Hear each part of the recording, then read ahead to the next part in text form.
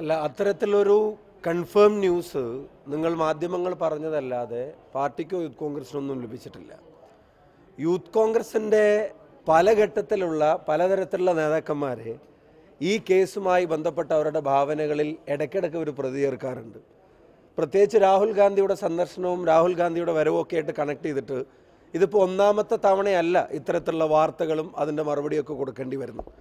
ഇതിനു മുമ്പ് ഒരു ജില്ലാ സെക്രട്ടറി അറസ്റ്റിലായിരുന്നോ വിദേശത്തേക്ക് രക്ഷപ്പെട്ടുന്നോ ഓടി ഒളിച്ചു എന്നൊക്കെ പറഞ്ഞിട്ടുള്ള വാർത്തകളുണ്ടായിരുന്നു. വലിയ ഫ്ലാഷ് ന്യൂസ് ആയിരുന്നു വലിയ ബ്രേക്കിംഗ് ആയിരുന്നു. അപ്പോൾ അത് ഇതുപോലൊരു ഭാവനക്ക് അടിസ്ഥാനത്തിൽ അവർ രചിച്ചൊരു തിരക്കഥ. അതൊരു അറസ്റ്റായി ചിത്രീകരിച്ചു അല്ലെങ്കിൽ അത് അറസ്റ്റ് നടന്നു എന്ന് വാർത്ത വന്നു പ്രതിയെ കണ്ടുപിടിച്ചെന്ന് പറഞ്ഞു.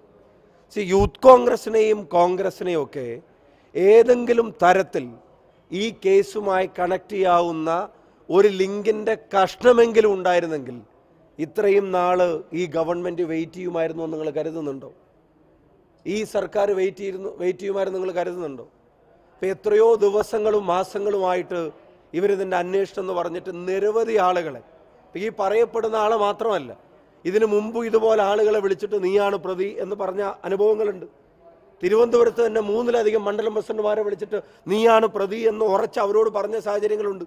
നിന്നെ കുടുക്കുമെന്ന് പറഞ്ഞ സാഹചര്യങ്ങളുണ്ട്. അപ്പം ഞങ്ങൾക്ക് ഇതിനകത്ത് പറയാനുള്ളൊരു പ്രധാനപ്പെട്ട കാര്യം ഇത് എ കെ ജി സെന്ററിന്റെ മതിലിന്റെ പുറത്ത് വീണ പടക്കത്തിന്റെ നൊമ്പരമല്ല. ഇത് രാഹുൽ ഗാന്ധിയുടെ യാത്രയ്ക്ക് കേരളം നൽകുന്ന സ്വീകരണത്തിലെ അസ്വസ്ഥതയാണ് ഈ തിരക്കഥയുടെ കാരണമായിട്ട് മാറുന്നത്. ഒരു സംശയം അക്കാര്യത്തിൽ വേണ്ട. ഈ കേസുമായി ബന്ധപ്പെട്ട് ഇവരുടെ വെളിപ്പെടുത്തലുകളുടെ ടൈമിംഗ് മുഴുവൻ നിങ്ങൾ പരിശോധിക്കുക. ഇതിനു മുമ്പ് രാഹുൽ ഗാന്ധി കേരളത്തിലേക്ക് എന്റർ ചെയ്യാൻ പോകുന്നതിന്റെ തൊട്ട് മുമ്പ് ഒരു ജില്ലാ സെക്രട്ടറിയാണ് ചെയ്തത്. പിടിയിലായി. അത് വേറെ വാർത്ത വരുന്നു. ഗൾഫിലേക്ക് രക്ഷപ്പെട്ടു എന്നൊക്കെ പറഞ്ഞ് വന്നു. ഇതുപോലെ പല കേസുകളിലും സി പി എമ്മിന്റെ ഭാവനക്കനുസരിച്ചാണ് പോലീസ് തീരുമാനമെടുക്കുന്നത്. കേസ് അന്വേഷണം സിനിമക്ക് തിരക്കഥ എഴുത എഴുതലല്ല എന്നുള്ളത് ഇനിയെങ്കിലും ഒരു മനസ്സിലാക്കണം. കേസ് അന്വേഷണത്തിൽ തിണ്ണമെടുക്കും രാഷ്ട്രീയ ബുദ്ധിയും അല്ല കാണിക്കേണ്ടത്. അതിനകത്ത് നീതിയും സത്യവുമാണ് പുറത്തു വരേണ്ടത്. ഈ തിണ്ണമെടുക്ക് ഉപയോഗിച്ച് യൂത്ത് കോൺഗ്രസിന്റെ ഏതെങ്കിലും തരത്തിൽ നിൽക്കുന്ന ഒരാളുടെ മേലെ ഈ കേസ് കെട്ടിവെച്ച് ഈ കേസിന്റെ മെറിറ്റിനപ്പുറത്തേക്ക് അതിന്റെ രാഷ്ട്രീയ ലക്ഷ്യങ്ങൾക്കുള്ള ആയുധമായി അവർ ഈ കേസിന് ഉപയോഗിക്കാൻ നോക്കുക. കേരളത്തിലെ പോലീസിനോട് ഞങ്ങളുടെ വിനീതമായിട്ടൊരു ചോദ്യം. ഇതിന്റെ രണ്ടാഴ്ച മുമ്പ് ഒരു പാർട്ടി ഓഫീസ് ആക്രമണം നടന്നിട്ടുണ്ട്. കേരളത്തിലെ മുഴുവൻ ദൃശ്യമാധ്യമങ്ങളും അക്രമം നടത്തിയവരുടെ ഉൾപ്പെടെ മുഴുവൻ ദൃശ്യങ്ങളും പുറത്തുവിട്ടൊരു അക്രമം. എ കെ ആന്റണി വരെ പോലീ പിന്നെ പാർട്ടി ഓഫീസിലുണ്ടായിരുന്ന സമയത്ത് കെ പി സി സി ഓഫീസിന് നേരെ നടന്ന അതിക്രമം. എന്ത് നടപടിയാണ് പോലീസ് എടുത്തത്? ആരെയാ പോലീസ് പ്രതിസ്ഥാനത്ത് നിർത്തുന്നത്? ആരെയാ പോലീസ് അറസ്റ്റ് ചെയ്യുന്നത്? അപ്പം അതിനൊന്നും പോലീസിന് കഴിയുന്നില്ല. ഇത് പോലീസ് എങ്ങനെയെങ്കിലും ഒരു കോൺഗ്രസ്സുകാരനെ ഇതിന്റെ മുന്നിൽ പ്രതിയാക്കിയേ തീരുവെന്ന സി പി എമ്മിന്റെ അജണ്ടയ്ക്കനുസരിച്ച് കാര്യങ്ങളെ വരുതിയിലാക്കാൻ പോലീസ് ശ്രമിക്കുകയാണ്. അന്വേഷണത്തിന്റെ അറസ്റ്റിന്റെയോ കൂടുതൽ ഡീറ്റെയിൽസ് വരട്ടെ. അപ്പോൾ കൂടുതൽ കാര്യങ്ങൾ പറയാം. എന്നാൽ ഒരു കാര്യം ഞങ്ങൾ കൃത്യമായിട്ട് പറയുന്നു. ഞാൻ ആവർത്തിച്ച് പറയുന്നു. എ കെ ജി സെന്ററിന്റെ മതിലിന്റെ പുറത്ത് വീണ പടക്കമുണ്ടാക്കിയ നൊമ്പരമല്ല. നേരെ മറിച്ച് രാഹുൽ ഗാന്ധിയുടെ ജാഥക്ക് കിട്ടുന്ന ലക്ഷക്കണക്കിനായ മലയാളികളുടെ പിന്തുണയാണ് ഈ അസ്വസ്ഥതക്ക് കാരണം എന്ന കാര്യത്തിന് ഒരു സംശയവും വേണ്ട. കൂടുതൽ ഡീറ്റെയിൽസ് പോലീസ് പറയുമ്പോൾ ബാക്കി കാര്യങ്ങൾ ഞങ്ങളും പറയാം. ജിതിൻ യൂത്ത് കോൺഗ്രസ് പ്രവർത്തനമാണ്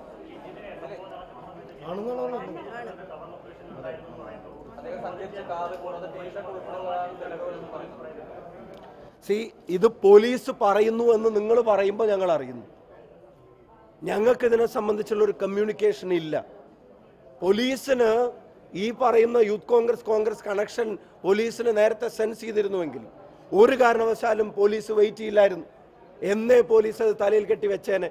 ഇപ്പോൾ ഇത്തരം ഒരു തീരുമാനം എടുക്കുന്നതിന്റെ ടൈമിങ്ങിന്റെ പിന്നിലെ ഏറ്റവും പ്രധാനപ്പെട്ട റീസൺ എന്ന് പറയുന്നത് അത് പൊളിറ്റിക്കൽ മോട്ടീവാണ് അത് തീർത്തും രാഷ്ട്രീയമാണ്. ഈ യാത്രയുടെ തുടക്കം തൊട്ട് ബി ജെ പി പ്രകടിപ്പിച്ചതിന് തുല്യമായ അസ്വസ്ഥതയാണ് പലപ്പോഴും സി പി എം പ്രകടിപ്പിച്ചത്. ബി ജെ പിക്ക് അണിയുന്ന വസ്ത്രമാണ് പ്രശ്നമെങ്കിൽ കിടക്കുന്ന കണ്ടെയ്നറായിരുന്നു സി പി എമ്മിന്റെ പ്രശ്നം.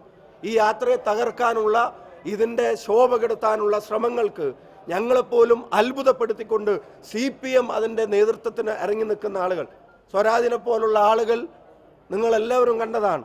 കണ്ടെയ്നർ യാത്ര എന്ന് നിങ്ങളുടെ മുമ്പിലാണ് രാഹുൽ ഗാന്ധി ഈ പകൽ മുഴുവൻ പത്തും ഇരുപതും ഇരുപത്തഞ്ചും ഇരുപത്തി ആറും കിലോമീറ്റർ പിന്നിടുന്നത്. അത്രയും കിലോമീറ്റർ പിന്നിടുന്ന ഒരാൾ വൈകുന്നേരം അന്തി ഉറങ്ങാൻ ഉപയോഗിക്കുന്ന ഒരു കണ്ടെയ്നറിന്റെ പേര് പറഞ്ഞിട്ട് ഈ യാത്രയെ കണ്ടെയ്നർ യാത്ര എന്ന് വിളിച്ച് ആക്ഷേപിക്കാൻ ശ്രമിച്ചത്. യാത്ര കേരളത്തിലേക്ക് പ്രവേശിക്കുമ്പോൾ പാറശാലയിൽ എത്തുമ്പോഴത്തേക്കും വേറൊരാളെ പ്രതിയായിട്ട് ചിത്രീകരിച്ച് അന്ന് വാർത്ത കൊടുക്കാൻ ശ്രമിച്ചത്.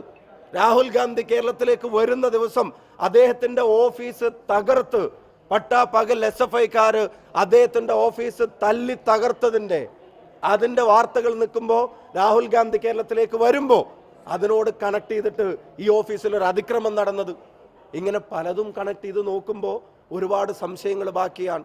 അതിന് കൂടുതൽ ഡീറ്റെയിൽസ് അവർ പറയട്ടെ. എന്തായാലും ഇപ്പോൾ ഇങ്ങനെ ഒരു തീരുമാനത്തിന്റെ പിന്നിൽ ഈ യാത്രയുമായി ബന്ധപ്പെട്ട് ഇവർ വെച്ചു പുലർത്തുന്ന അസ്വസ്ഥതയും അസഹിഷ്ണുതയുമാണ് എന്ന കാര്യത്തിന് ഒരു സംശയമില്ല യൂത്ത് കോൺഗ്രസ് പ്രവർത്തകൻ യൂത്ത് കോൺഗ്രസിന്റെ പ്രവർത്തകൻ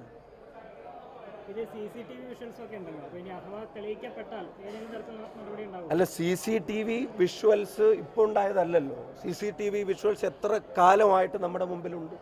എത്ര ദിവസങ്ങളായിട്ട് നമ്മുടെ മുമ്പിലുണ്ട്? എത്ര മാസങ്ങളായിട്ട് നമ്മുടെ മുമ്പിലുണ്ട്? അതിനെ ഏതെങ്കിലും തരത്തിൽ കണക്ട് ചെയ്യാൻ സാധിക്കുമായിരുന്നെങ്കിൽ നിങ്ങൾ നിങ്ങളുടെ ഒരു സെൻസ് വെച്ചിട്ട് തന്നെ പറ. അവർ ഇത്ര ഈ ഗവൺമെന്റ് ഇത്രയും വെയിറ്റ് നിങ്ങൾ കരുതുന്നുണ്ടോ? ഇതിലും രൂക്ഷമായിട്ടുള്ള ഈ പറയുന്ന വിമർശനങ്ങൾ ഈ സംഭവ കേസിനെ സംബന്ധിച്ച് പുറത്തു വന്നിട്ടും എത്രയോ ദിവസങ്ങൾ മാസങ്ങളായി.